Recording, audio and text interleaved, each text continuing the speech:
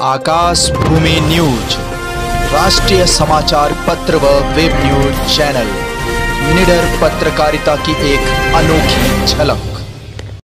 जानिए आखिर किसने कहा भदोही जनपद की स्थापना में कालीन उद्योग मील का पत्थर साबित हुआ। भदोही जनपद स्थापना दिवस के अवसर पर 30 जून 2021 को जनपद भदोही के ग्राम कठौता स्थित वरिष्ठ कांग्रेस नेता दीनदयाल मिश्र के आवास पर कार्यक्रम का आयोजन किया गया। उक्त अवसर पर कांग्रेस के भदोही जिला उपाध्यक्ष राजेश दुबे ने कहा कि जिस उद्देश्य को लेकर जनपद की स्थापना हुई थी, जनपद के जिम्मेदार उस उद्देश्य से भटक चुके हैं। किसी भी देश, प्रदेश या ज़िले की पहचान, उसकी चिकित्सा व्यवस्था, शिक्षा व्यवस्था व राजस्व से होती है। दुर्भाग्य यह है कि आज हमारे जनपद की चिकित्सा व्यवस्था घुटनों पर चलने को मजबूर है। चिकित्सा व्यवस्था के नाम पर हमारा जनपद रेफर जिला के नाम से जाना जाता है। इसमें चौंकने वाली बात नहीं है। सच यही है कि यदि किसी की हालत हल्की सी भी क्रिटिकल होती है तो उसे तुरंत वाराणसी रेफर कर दिया जाता है। ऐसे में वाराणसी या प्रयागराज ले जाते समय रास्ते में ही मरीज़ दम तोड़ देते हैं। शिक्षा व्यवस्था के नाम पर जनपद में केवल इमारतें ही दिखाई देती हैं। शिक्षा का मूल आधार शिक्षक होते हैं, जिनकी जनपद में ही नहीं, बल्कि पूरे प्रदेश में भारी कमी है। अब बात अगर कालीन की करें तो उसके भी निर्यात में काफ़ी कमी आई है। लोगों को सही मामले होते हुए भी ऑफिसों के चक्कर लगाने पड़ते हैं, फिर भी न्याय नहीं मिल पाता। क्या इसी उद्देश्य को लेकर जनपद की स्थापना की गई थी?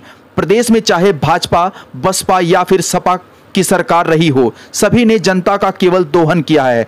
चिकित्सा व्यवस्था के नाम पर इन सभी सरकारों ने प्राइवेट हॉस्पिटल को मालामाल किया है। गलती से भी यदि कोई मरीज़ ऐसे हॉस्पिटलों में इलाज के लिए चला जाता है तो फिर उसकी जो कुछ बची हुई सुण शाखा है, वह भी खत्म हो जाती है। अर्थात, बीमार होने के साथ साथ वह आर्थिक रूप से भी कमज़ोर हो जाता है।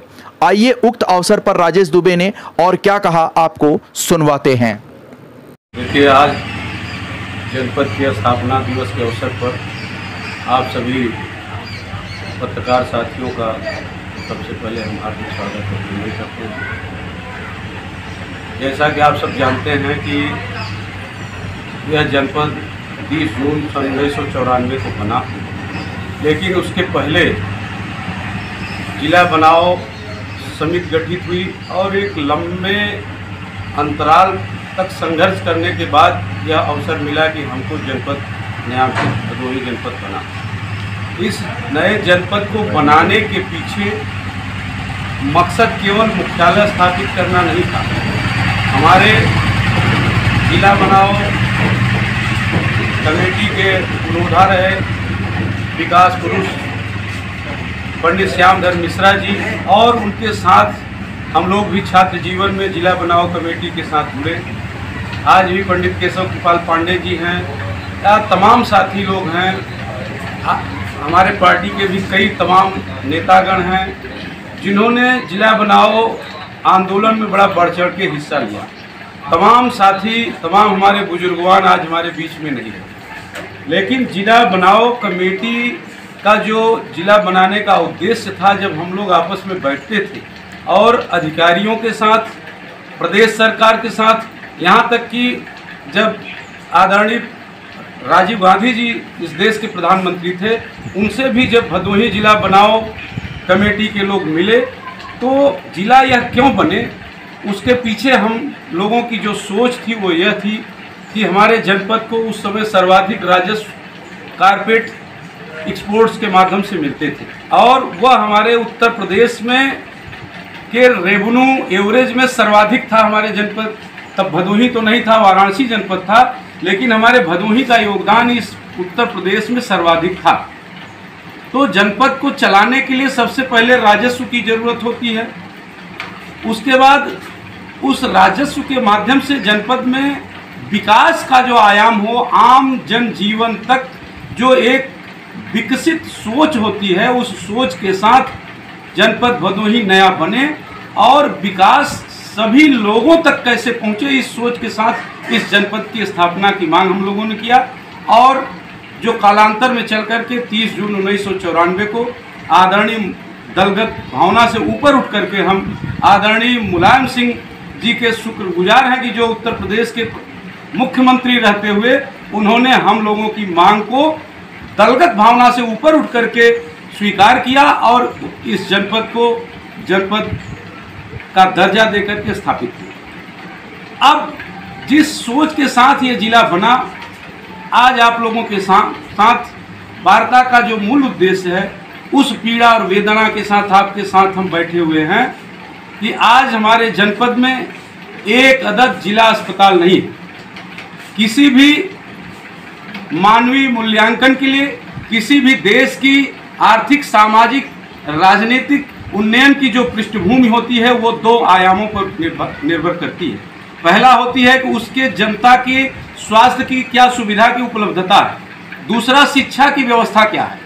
आप देखेंगे कि स्वास्थ्य के नाम पर जनपद अस्पताल हमारे पास नहीं है और हमारे जनपद भदोही के जितने भी सरकारी सेक्टर के स्वास्थ्य केंद्र हैं, वो केवल रेफर सेंटर बनकर के रह गए हैं। किसी को क्रिटिकल बीमारी हमारे जनपद के किसी भी व्यक्ति को अगर क्रिटिकल बीमारी हो जाती है कभी कभी ऐसी भी स्थिति आन पड़ती है कि इलाहाबाद के लिए अगर रेफर होते हैं, वाराणसी के लिए रेफर होते हैं तो वो नहीं पहुँच पाते और उनका जो है, वो अपने जीवन से हाथ धो बैठते हैं। दूसरी स्थिति यह है कि जो प्राइवेट सेक्टर में इस जनपद में हॉस्पिटलों को पोषित कर रही है। चाहे ये उन्नीस सौ चौरानबे में जब से ये जनपद बना, इस जनपद में या तो सपा की सरकार रही इस प्रदेश में, या तो भाजपा की सरकार रही, और या तो बहुजन समाज पार्टी की सरकार रही, लेकिन तीनों सरकारों ने यहाँ प्राइवेट सेक्टर में हॉस्पिटलों को खूब पोषित किया। और आज जनपद के कुछ ऐसे हॉस्पिटल हैं, उसमें अगर गरीब या मध्यम श्रेणी के लोग इलाज कराने पहुँचते हैं तो उनके, उनकी जो आर्थिक सोण शाखा होती है, वो भी समाप्त हो जाती है। तो एक तरफ़ तो वो जो है बीमारी से झेलते हैं, दूसरी तरफ़ आर्थिक बीमारी भी उनके ऊपर लग जाती है।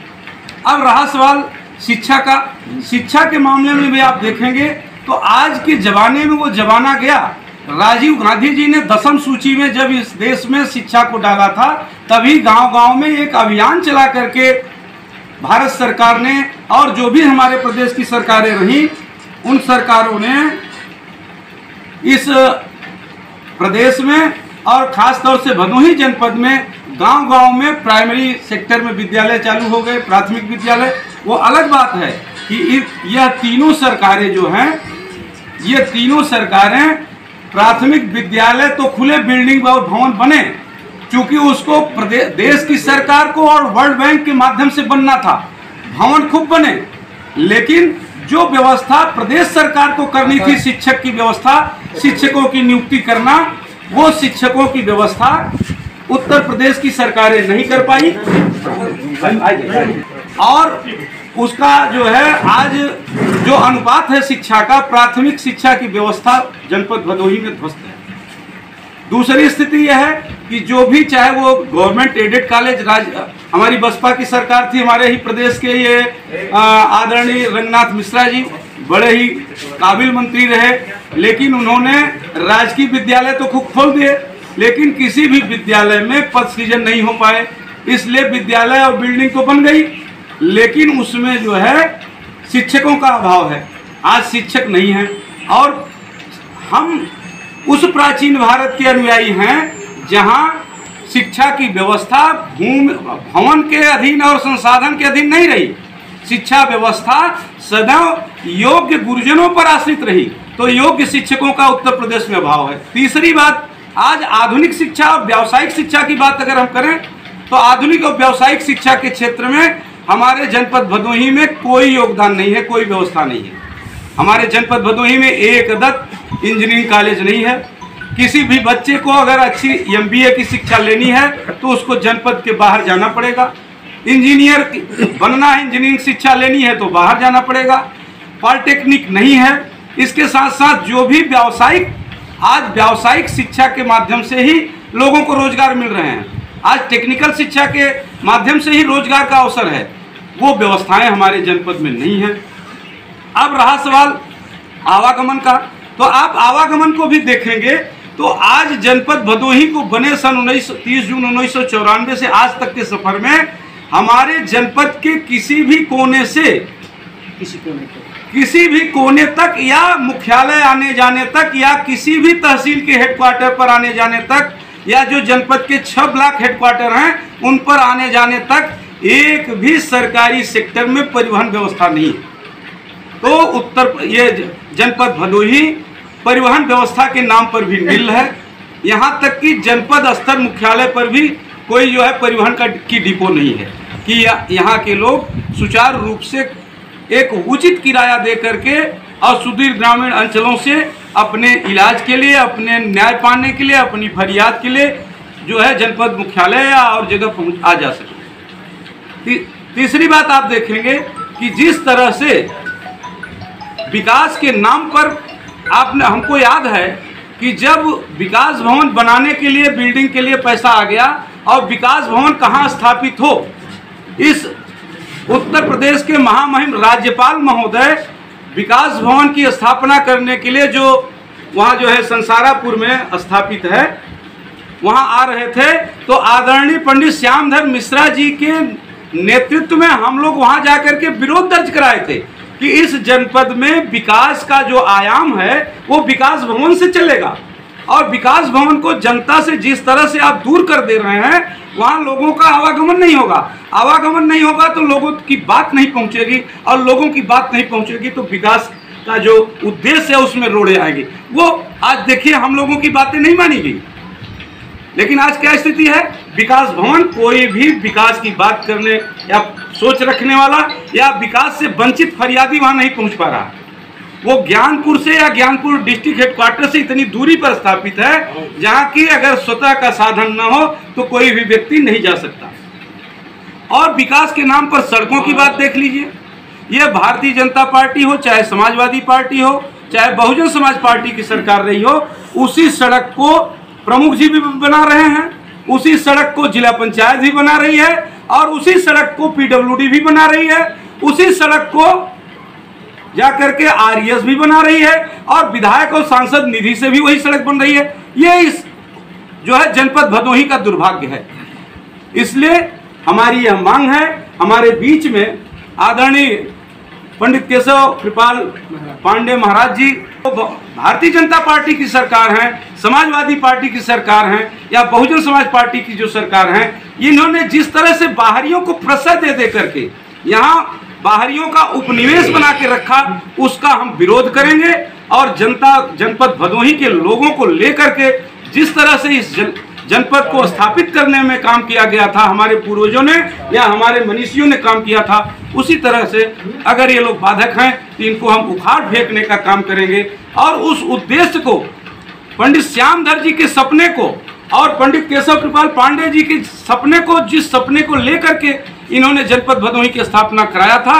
उस सपने को साकार करने के लिए हम काम करेंगे, ये हम आपसे कहना चाहते हैं।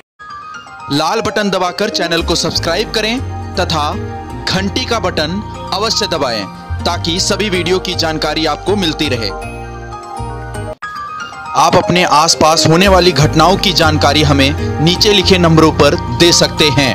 आप हमें ईमेल भी कर सकते हैं।